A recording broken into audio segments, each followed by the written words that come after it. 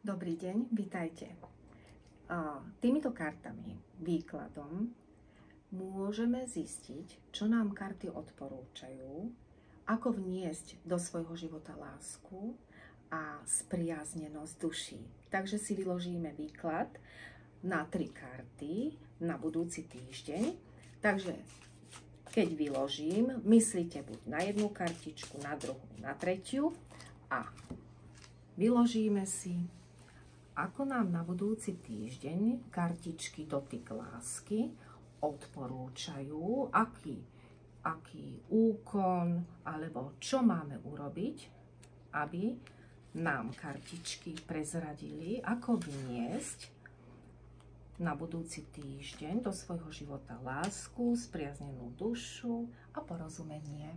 Takže, ak ste mysleli na kartičku číslo 1, Pekne ju otočíme. Príjmite s láskou.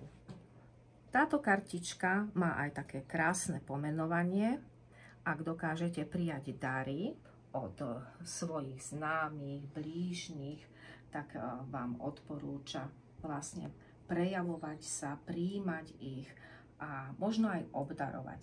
Príjmite seba s láskou, príjmite s láskou. Táto kartička vám odporúča, v budúcom týždni nahliadať na život, na ľudí, aj na tých, ktorí sú trochu nepriateľmi s láskou.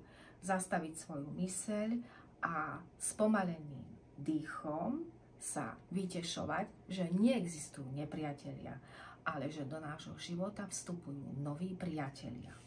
Ak ste mysleli na kartičku číslo 2, zákon príťažlivosti.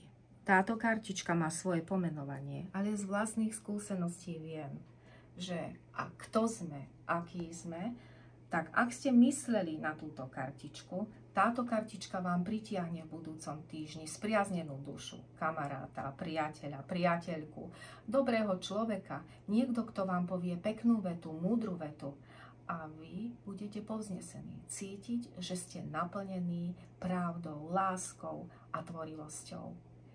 Ak ste mysleli na kartičku číslo 3, táto kartička je veľmi ojedinelá a veľmi silná. Majte radi sám seba.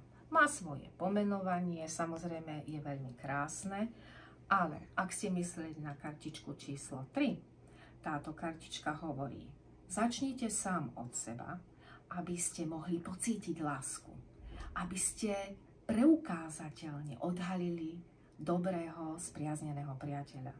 Takže toto je, moji milí, rada k budúcemu týždňu, ako do svojho života pritiahnuť lásku, čo urobiť preto. No a ak sa naozaj naplnia niektoré z týchto prognóz a výklad sa vám páčil, tak nám dajte like.